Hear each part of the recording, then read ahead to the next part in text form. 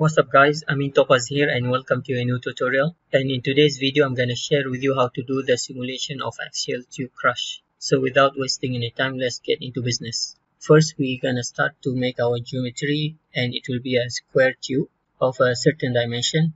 So we go to mesh and shape mesher and then we want a shell box and here you put the following dimensions minus 18.4 18.4 minus 18.4 18.4 it's a square and the height is 95 and the size of the element let's say it's 2 millimeters. And here we say it's square cube and create. And then there you have it. Then you go to element tools element edit. You delete the top and the bottom sides. So delete propagate the top one and the bottom one and here you go you have your square tube. Now we're gonna make a plate on the top. We go we go to mesh again shape mesher and then instead of shell we make it solid. Here it says minus 25 25 minus 25 25 and it start from 95 and ending is let's say 98 the sizing just keep it 222 here I say it's a rigid plate. Create later on we can apply the displacement on this rigid plate. Okay. So next we want to fix the bottom side. We go to create entity. We create a node set first. Create bottom nodes. And then by area make mark the area. You double check. Then apply now I want to make a set part of the tube. We need to do this because later on you will see we need this set part. So here tube set part click by part and then apply. So now we go to keyword. We want to define the curve the displacement displacement new when time is 0 displacement in 0 is 0 and when time is 1 our displacement is 47.5 so we are compressing 50% of the tube. Insert insert again I forgot to insert the first point. Insert. This one delete. Accept. Now you have this is a displacement curve. Okay now you go up. Here boundary. Describe motion rigid. And this is the rigid plate. Degree of freedom should be in 3 because it's moving in the z direction. The curve that we have this uh, we have defined just now is the displacement curve so this is 2 put the displacement and here don't forget to put minus because our curve is positive and we want the plate to go down in the negative direction. So here I would say displacement of rigid plate. Accept here I just put one. Accept now we go down SPC set want to fix the bottom nodes. So it's it is fixed in all direction. Here I define it as fixed bottom. Accept. Okay.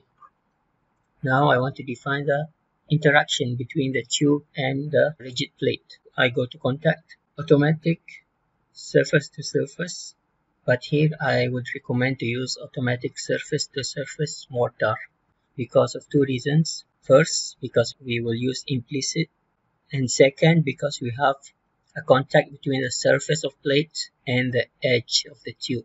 The keyword here is edge and surface.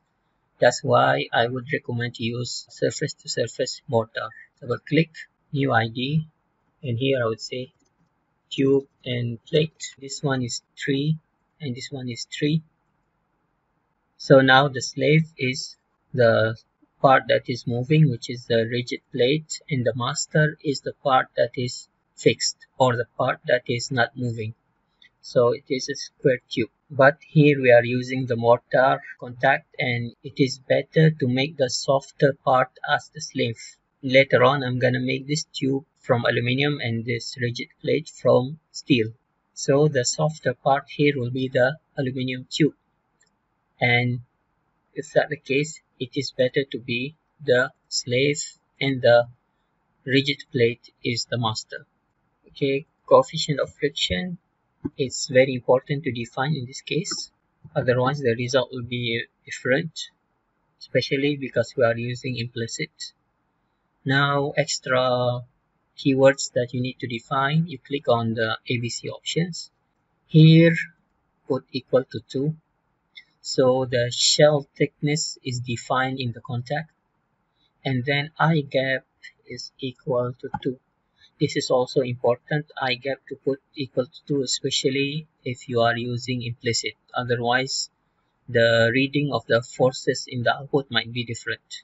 Then accept now that we have defined the contact between the tube and the rigid plate, we need to define the contact between the tube and the tube itself. So I go to automatic single surface mortar. Double click, new, here I put tube self contact. And here number 3 this is the tube. Coefficient of friction the same and uh, the same as before. Here the shell thickness is 2 and then I gap equal to 2 now I go to control. Control accuracy. Here I want to put this one equal to 1 this is the implicit accuracy flag. So if I put this one we should have more accurate result but of course the simulation will take longer time this one is equal to 1 and this is equal to 4 okay? This is the objective stress update and this is the invariant node numbering for shell and solid elements. This is the part set id that we have defined before. So click on it and accept. Now we define the implicit keywords. Control implicit auto. This one automatic automatically adjusted time step this is important. Implicit dynamics. Here we are using static analysis so 0 implicit general here 1 because we want the implicit analysis. And then the initial time step I would say 0.001 this one depends on your termination time and depends on your displacement. The termination time I would make it equal to 1 so my practice is always to put this dt, dt0 as the termination time over 1000 but again it depends on the situation and the displacement and the geometry and so many other factors. Except done. Implicit solution.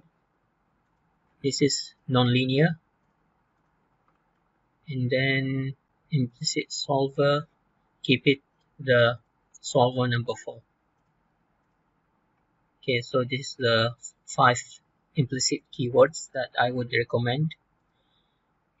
And then control termination the usual guy.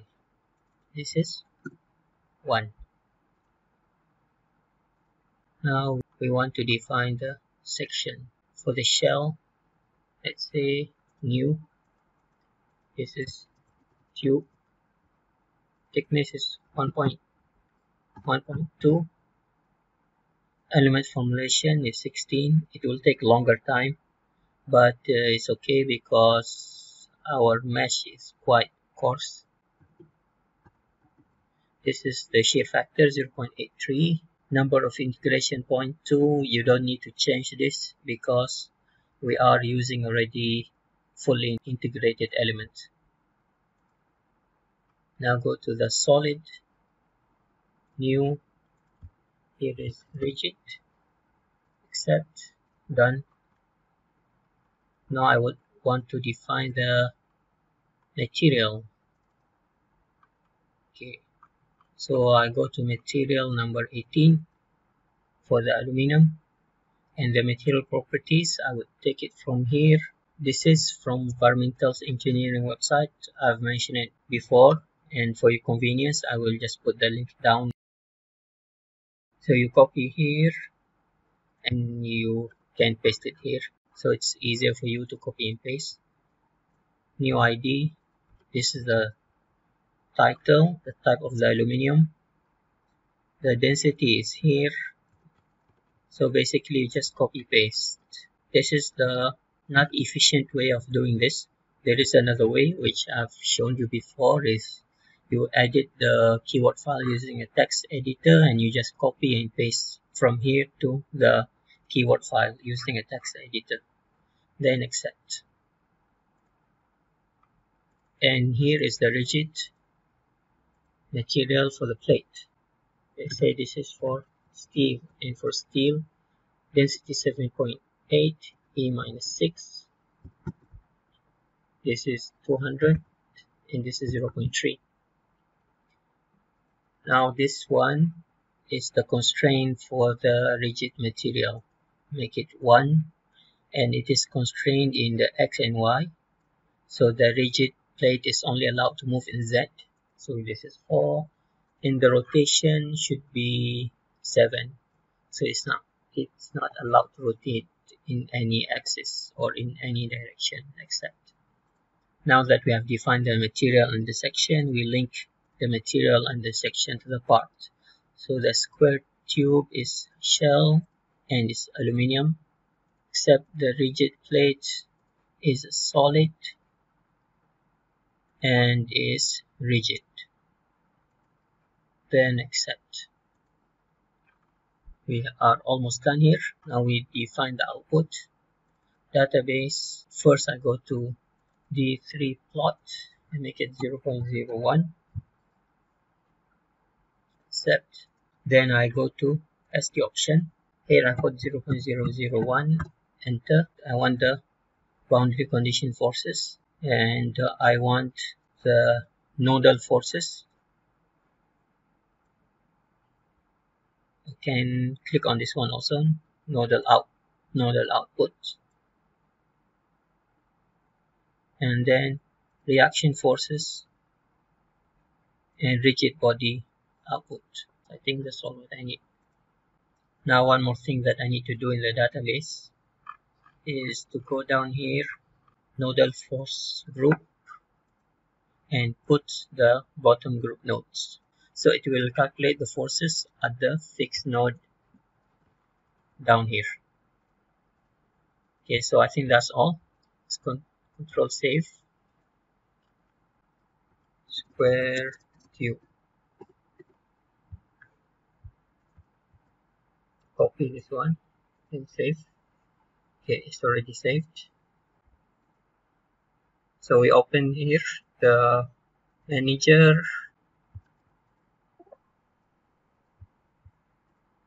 This is the file that we just did. And uh, run and hope we don't have any problems. This gonna take some time so I'm just gonna fast forward. Okay now finally the simulation has finished 17 minutes and 52 seconds. Uh, before I open the results, just want to go up here and show you a few things. You see in each iteration or in each time steps, there is a certain number of iteration. Sometimes it's only three, sometimes it's four. And if you go up, sometimes it's eight. And uh, if you go even higher, you can see sometimes it's 12 okay these iterations depends on the equilibrium whether it's established or not.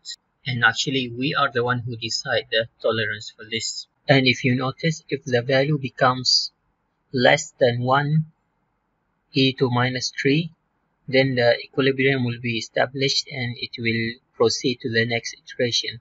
So this value and this value actually we are the one who decided and we decided from control implicit solution. So this is the tolerance for the du over u and this is the tolerance for the energy uh, ei over e naught.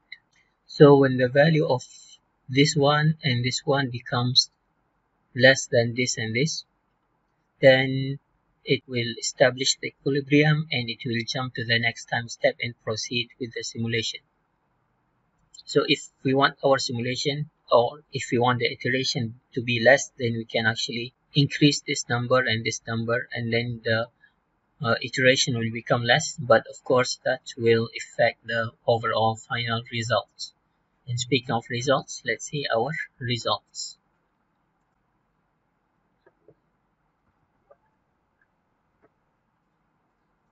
so here you see our guy is becoming compressed and compressed. We have two folds. And then things finish.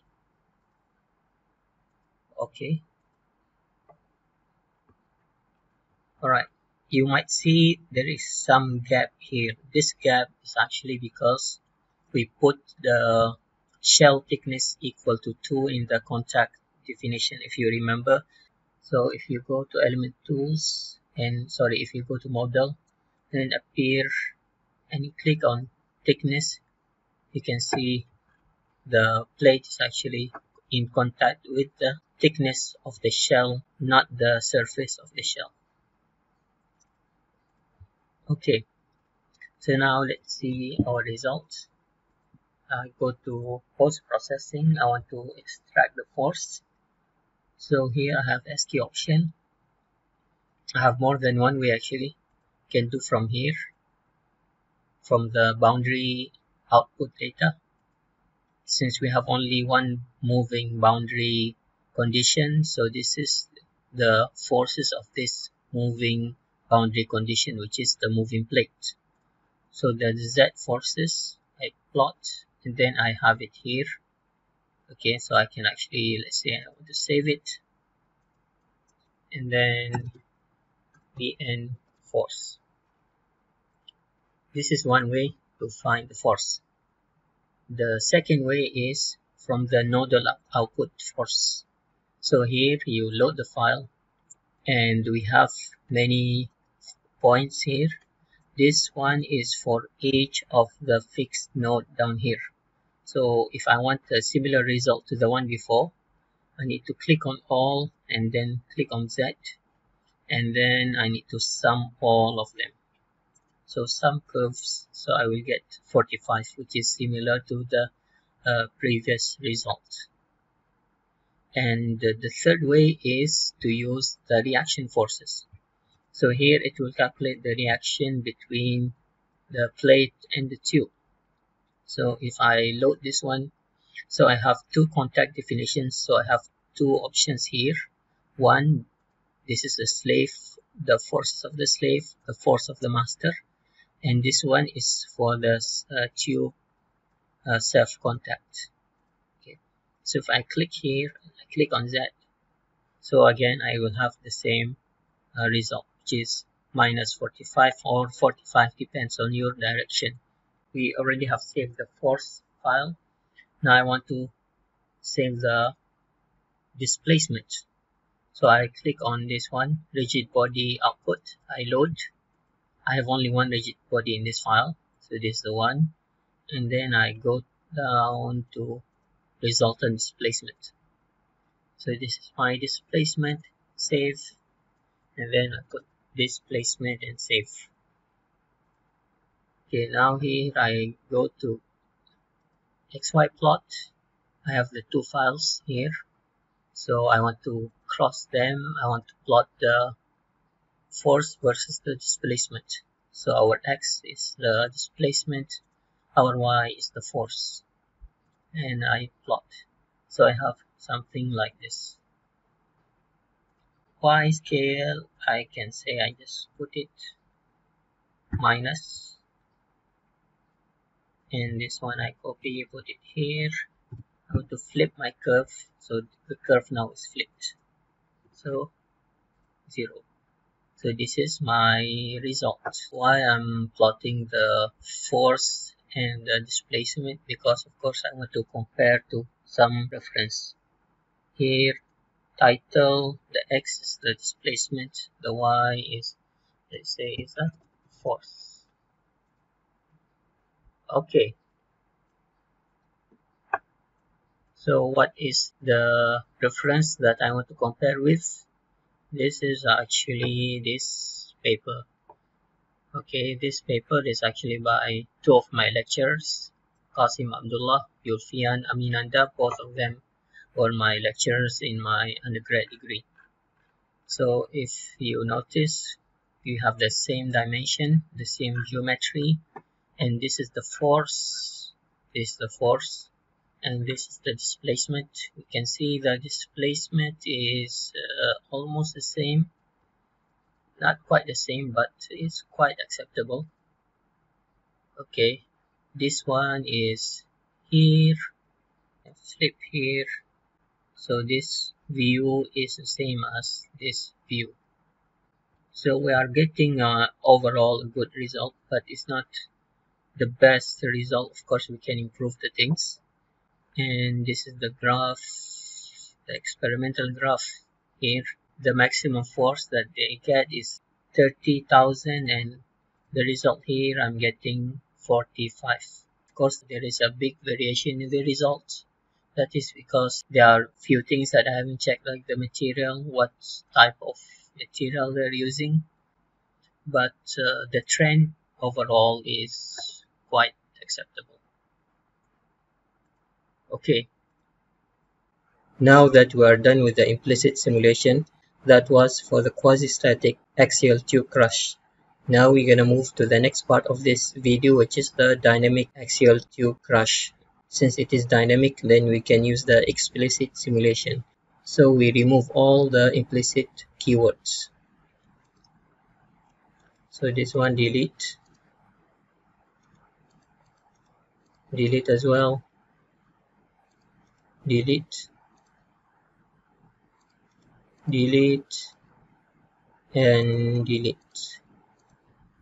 This accuracy also I can delete. I don't need any accurate results right now because I will not compare my result to any reference for the dynamic simulation. And for the section I can use just the default element formulation. I don't need very accurate result number of integration points let's say I can make it 3 or 4 just put it 3 then accept. Now for the dynamic tube crush I remove the prescribed motion and what I do here I apply an initial velocity on the rigid plate. So with velocity generation I want to apply I want I want to apply it on a part. So this is a rigid plate and the velocity is minus.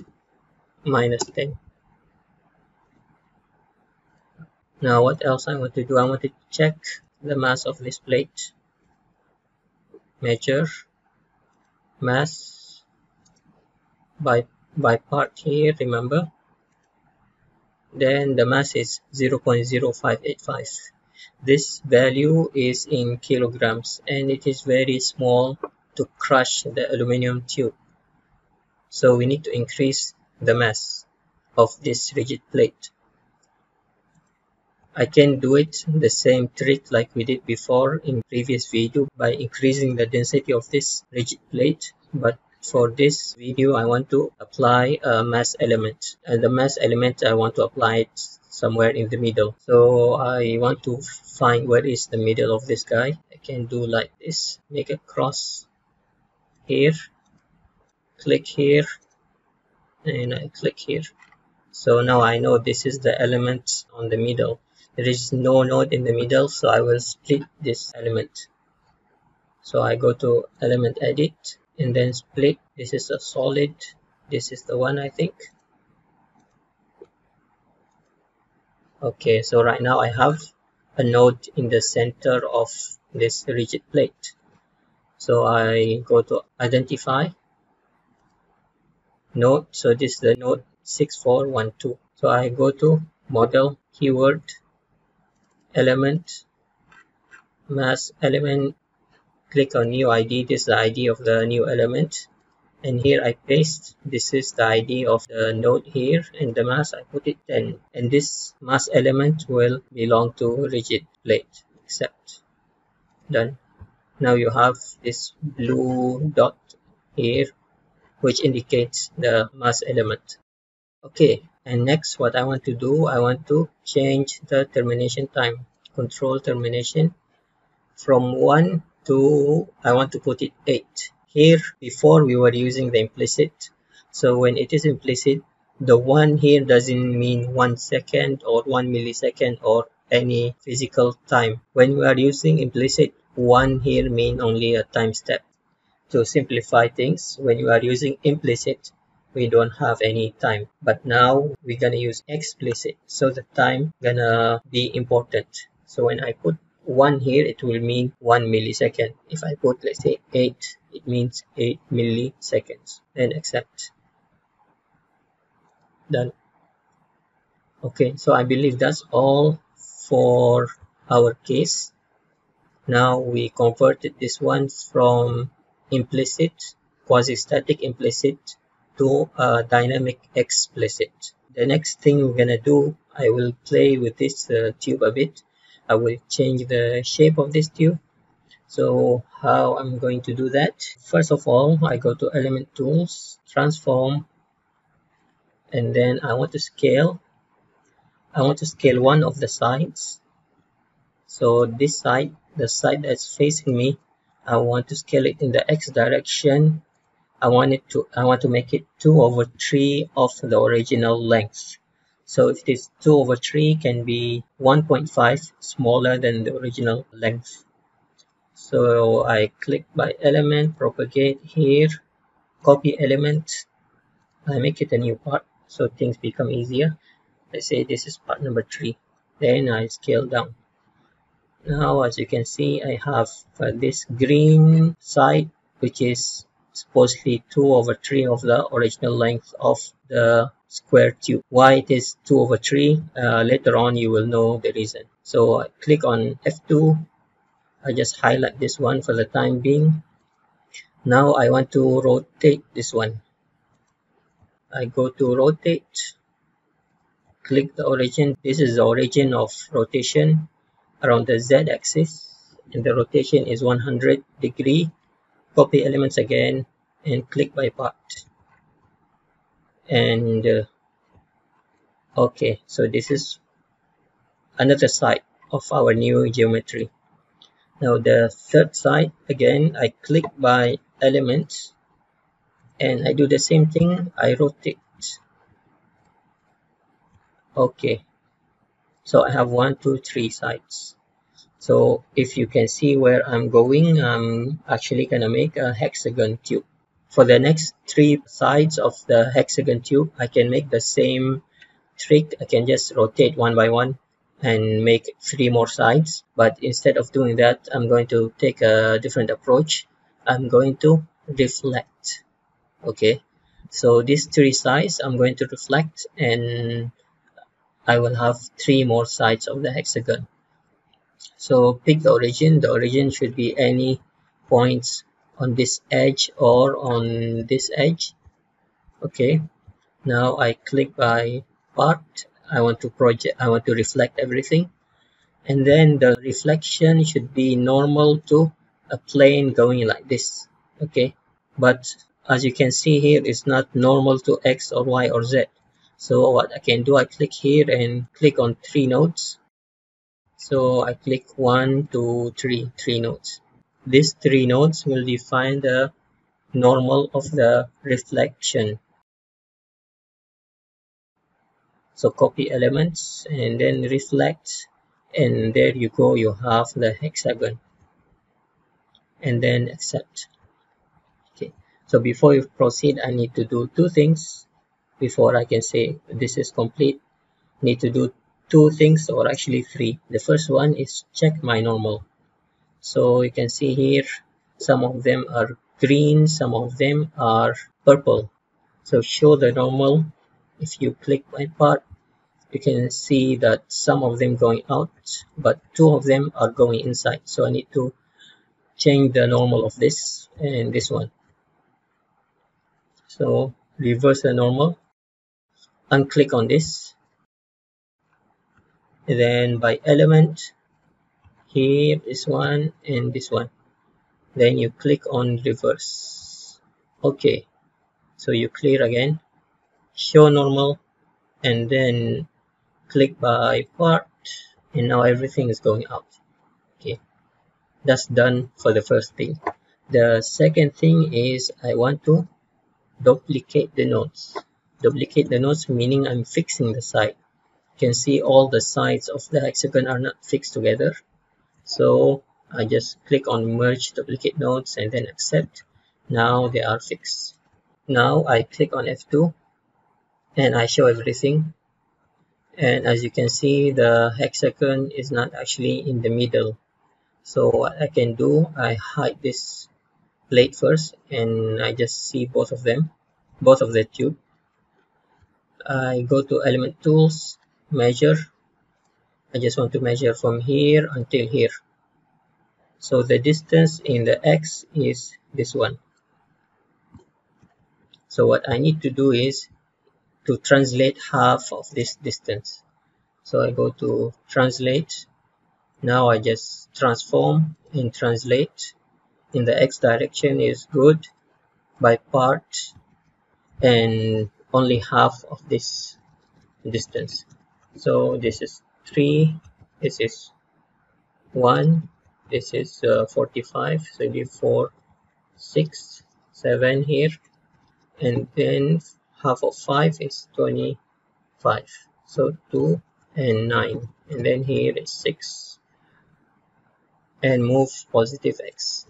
Now you can see in the x is aligned now we go do the same thing for the y direction here.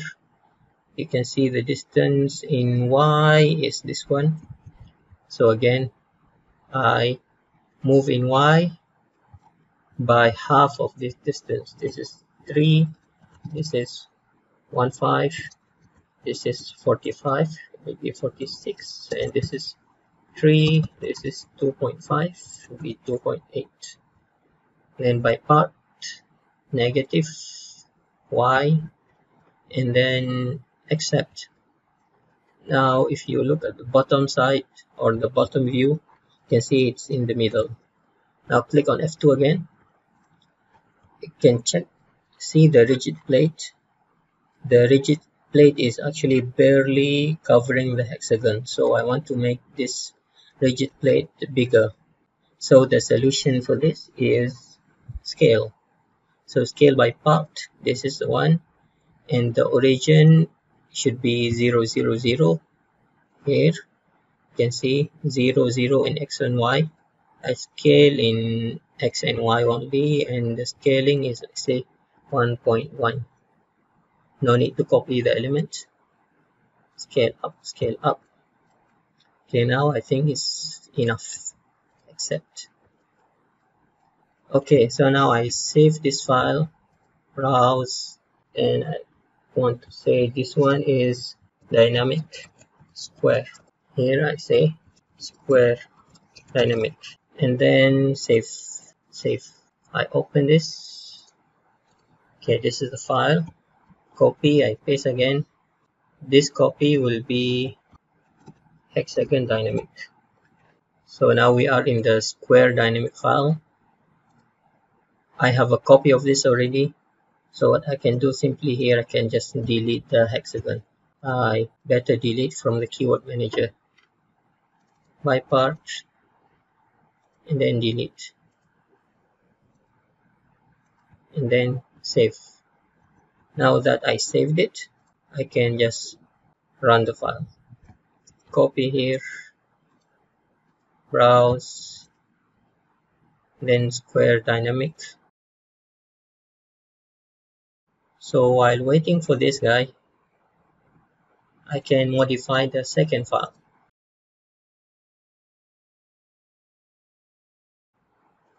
So this one is running fine. It says 9 minutes. Maybe it's 90 minutes. Okay it's 10 minutes 9 minutes. Okay okay just ignore the warning okay now this is the hexagon dynamic file. So I need to delete the square tube. So element edit delete delete by part. I delete the elements from here not the part. I delete the element only because you will see later why. I delete this one except now I just move copy. Square square tube is I pick on square tube then by part except now that I did like this I don't need to define the material and the section and also the contact between this tube and the rigid plate.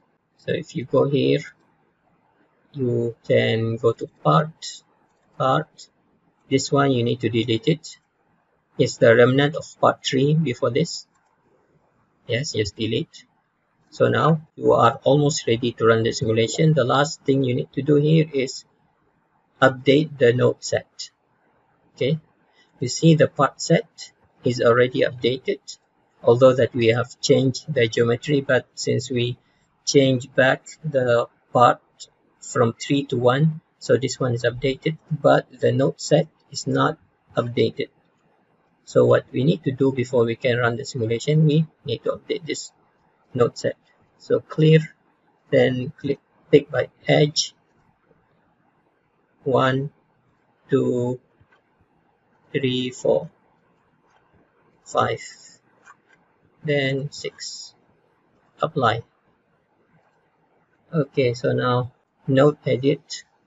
Just want to make sure there is no extra nodes delete unreferenced node delete okay hexagon dynamic the right file the right folder. Then save. Okay now we can run this file simultaneously also.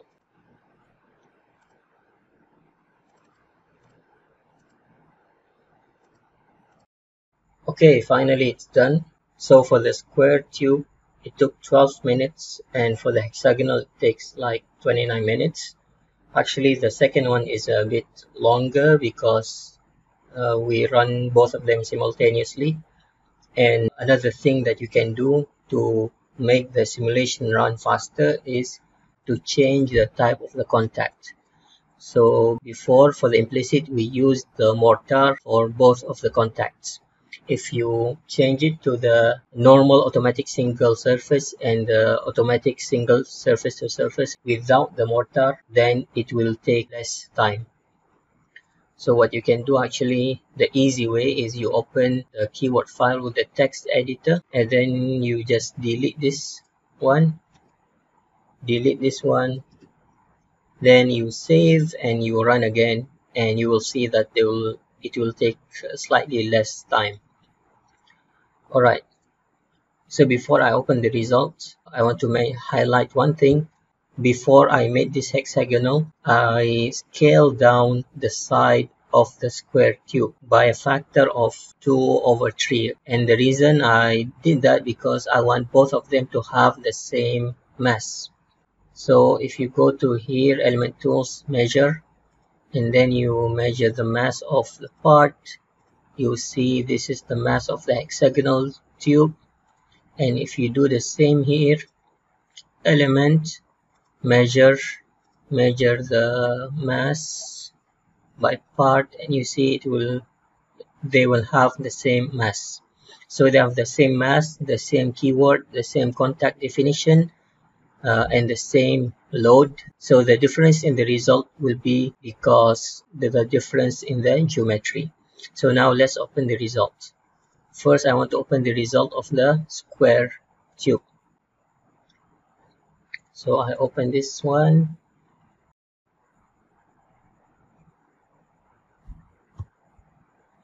So we zoom out and we play and we see the deformation of the tube.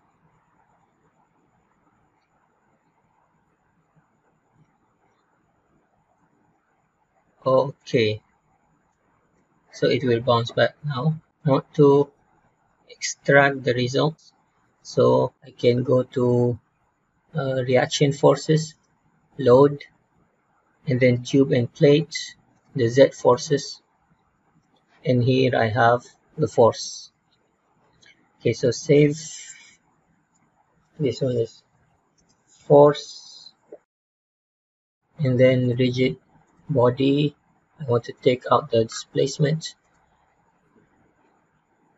So plot. This is the displacement. It will reach some maximum value then it will bounce back. So this is the displacement. Now I go to xy I cross. This time the displacement is x the force is y why I'm plotting the force and the displacement? Because here I have this guy. So now you can compare. This is the dynamic response and this is the quasi-static response of the tube. So now we open the hexagonal and see how it deforms. Okay zoom out a bit? And you see how it's beautifully folding.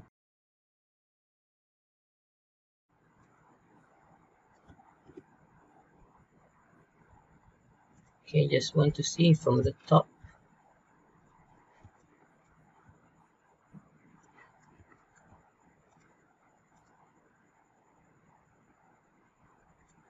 See the crushing and the folding of the hexagonal tube. Okay now we do the same thing extract the force and the displacement. So as the option reaction forces master and the plate then plot. This is the force. Save. Force. And then rigid body output. I want the displacement of the plate. Save. Displacement. Save. And then I go here xy plot I cross the displacement and the force. And I plot. Alright. So now I can put this one here. And this is the other guy. And as you can see here this is for the square tube. And this is for the hexagonal tube. Okay. If you want to compare other things we can say want to compare the displacement. So I plot here. This is the displacement of the rigid plate and then I do the same here the displacement of the rigid plates in the case of the square tube so if I plot side by side, you can see there is a slight difference, only a slight difference. You can see when it is a square tube, it reaches minus 25 and the maximum deflection is 26.3 and when it is hexagonal tube, the deflection is 25.2. Okay, that's all for today. Thank you for watching. I hope you learned something and don't forget to like and subscribe to my channel. Thank you very much and see you next time.